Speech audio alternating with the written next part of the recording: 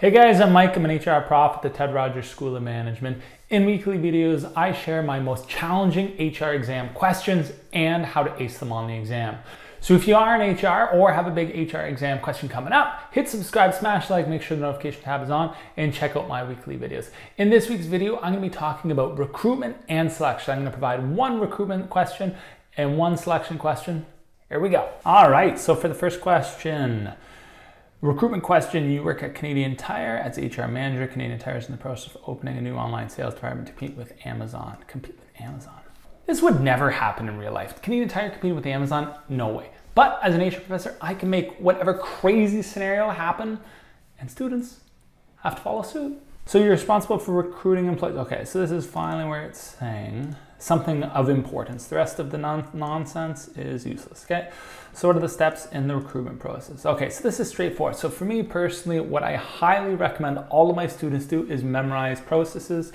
I hate the idea of memorizing definitions or memorizing anything in general. However, processes are pretty important because as a prof, if you understand the process, understand each of those steps, um, one, processes are an easy thing to ask on an exam. Uh, and two, if you understand the flow of things, Another easy thing to do is ask specifically about specific steps, specifically about specifics in, in, the process, okay? So we can dive into the process to make sure you understand it more. So as a baseline, I highly recommend you get the process. Okay, you understand that process. Okay, so what are the steps? So here it comes directly from the textbook. As you can see, it's a figure that I provided.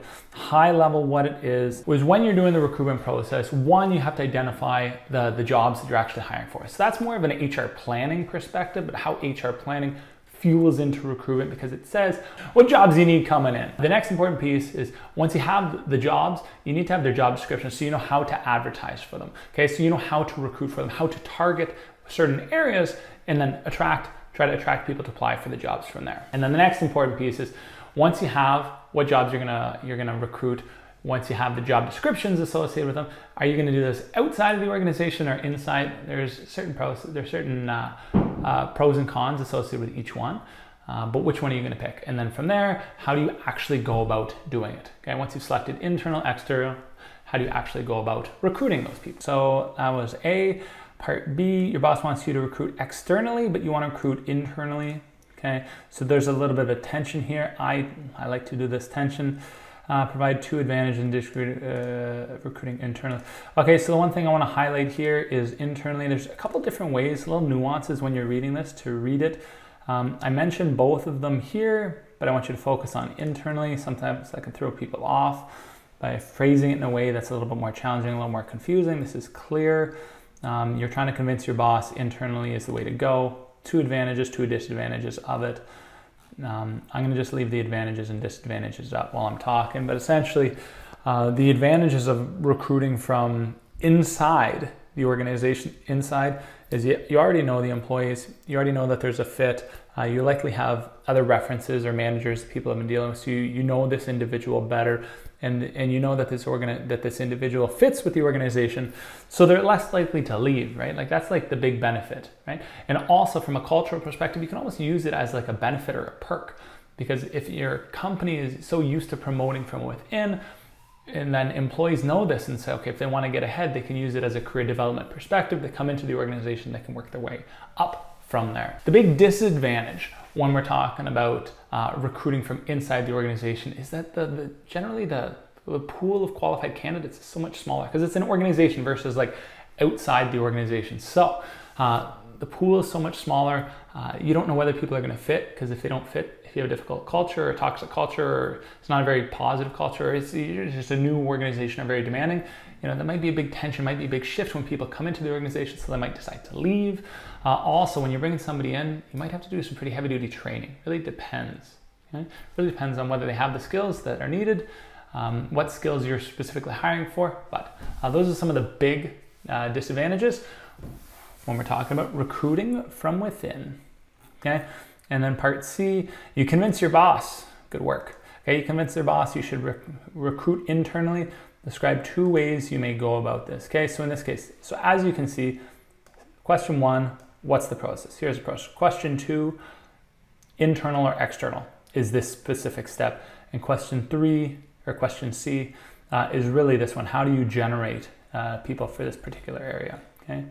Uh, so in this case, we're pulling it directly from the textbook, or in my case, directly from my course slides. I'll start at the bottom.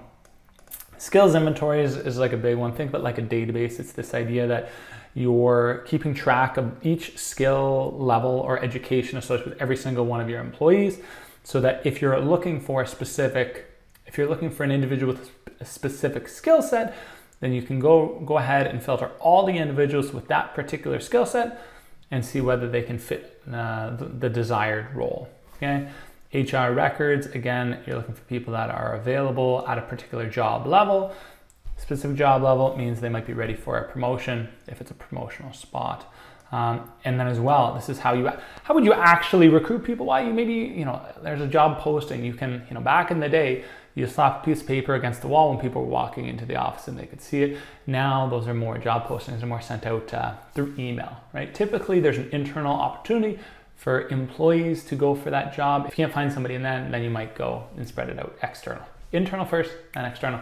Pretty classic approach. Question two. So you work in talent acquisition at Tim Hortons head office. You're starting to interview, okay? So this gives you an indication we're talking about selection. Uh, as you learned in your previous HR class, while this wasn't very creative, uh, interviews are subject to many common errors, which may limit the, re- the reliability and validity of the interview. So the reliability and validity, these are two very challenging tasks, which students, well, it's not really challenging, but students really struggle with these concepts. But I don't think I actually ask about them in this question, so you're off the hook. Okay. Um, identify and describe four common interviewing mistakes. Um, these are just things that people, you know, common mistakes people might have when they're interviewing you. Okay, so it can be anything from um, just poorly planning out the interview, trying to squeeze too many interviews in a particular day, not giving enough time for each interview, uh, rushing through the questions, right? That kind of idea. Snap judgments is when you um, somebody walks in and they're not smiling, and you're like, oh, you're not happy, you don't want to be here. you're not getting the job, and you just, you know, first impressions make a big impact, right? Like that's what this is all about. Uh, a negative emphasis, you can think about um, if I got a speeding ticket on my way into the interview as the interviewer, I'm going to be in a negative mood.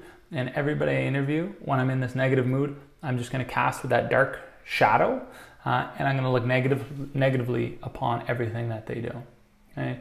Uh, what's another one? Um, contrast error is kind of a cool one. Contrast error is when I'm comparing uh, candidate A to candidate B and comparing candidate B to candidate C, right? And you're just contrasting one person to the person that was immediately before them, right? That kind of idea. So you're, so you're not comparing them all holistically.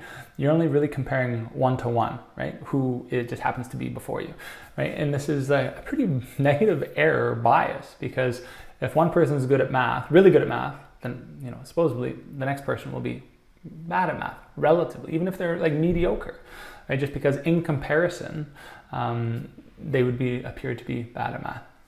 In any case, um, that's another error. Nonverbal. You know, this nonverbal one's a big one because it's like it really depends on what you're doing what the job is all about. If we're talking about a sales role where you're always in front of people, highly high customer interaction role, then they need to have positive body language and they need to always be in like very exciting, charismatic in your face. However, if I'm just going to be coding and sitting at a computer this whole time, I probably don't need to be that charismatic or that talkative or even, you know, I could slouch my shoulders forward. It doesn't really matter because I'm not going to be in front of the customer all the time. As long as I deliver my deliver and have a high task performance, that's all that matters. Leading, uh, kind of guiding people to a certain answer instead of letting them kind of find their own answer. Talking too much or talking too little. Yeah, similar to me bias. This is probably one of my favorite ones. It's based off the idea of a Russian doll model. Similar to me bias is the idea that I'm going to look for somebody to, you know, to hire somebody who's got traits similar to me. I have an ego. I think that I'm good at my role. So if somebody else is similar to me, then they're also likely to be good at that role but it's biased because you know I have weaknesses as well, and over time I'm just going to be uh, exaggerating the weaknesses, that particular weakness in the organization. Not cool. Okay, so any of those four will do. Uh, your superior suggests you should use a semi-structured interview transcript. Okay, during the interview process. So this is this is the big thing here. Please explain why this is a good or bad idea. In this case, I actually show you the number of marks. Okay, each, each of my quest, short answer questions is worth 10. Each of my parts, I give you the marks for. Um, so explain why this is a good or bad idea. So for me, when I'm dividing this out, when you're, when you're answering this question, try to think, okay, how will these marks be distributed before I start writing? So defining this is probably worth one mark or two marks. And then explaining why it's a good or bad idea is probably worth one or two marks, okay? That helps you determine where you should spend most of your time when answering this question, okay? And what do I actually have here? I have two marks for defining and two marks for explanation, okay? That makes sense. So you don't need to spend uh, and write an entire essay on defining it or writing an entire essay on explaining it. You have to really just map out, put your effort where it should be, and you're more likely to get more marks for it. Um, so semi-structured, what is it? It's an interview transcript with predetermined set of questions, but the interview may go off the script uh, if something sparks their interest. Semi-structured is by far and large the most common form of interview approach, okay? Because you have a specific set of questions, but then based on the response to one question, the interviewer is allowed to create their own question right, and take additional notes. They want to dive deeper into how somebody was responding or prompt them a little bit further. They can go, they can build on that idea. Okay. But the idea is that you have that 10 set of questions that you're getting responses to so that it's easy to compare across interviewee because you have those 10. The additional questions you might add just gives you those little additional nuances that allow you to learn a little bit more about each individual candidate. However, those additional questions might be different for different candidates, depending on how people respond. Explain why this is a good or bad idea. It's a good idea. It is the most common form uh, of interview. Uh, so, by, so it should be a good form. So it should be the, the best idea that you're looking for. Uh, so in comparison to structured interviews, they're more flexible, less rigid. Yes, you can get more information. Kind of what I was alluding to already. They also might be less rigorous and it can be more difficult to fairly compare. Okay, so it's the idea that some people go and they, they take too much advantage of this flexibility and they ask too many different questions and they might not be able to get through all of those 10 prescribed questions. So if you take advantage of that flexibility too much, then you're losing the amount of questions that you can directly compare uh, across respondents. So it, it is a balance, okay? So you have those 10 firm ones that you should be asking regardless uh, to compare across respondent, but you can also ask those additional questions, gives you more flexibility to learn a little bit more about each individual candidate. All right, guys, that's it. That is my video on recruitment and selection. I hope you found those exam questions and solutions helpful. And again, if you are an exam, if you are an HR student or have a big HR exam coming up, hit subscribe, smash like, and check out my weekly HR exam videos to help you ace your next HR exam. Until next week, take care.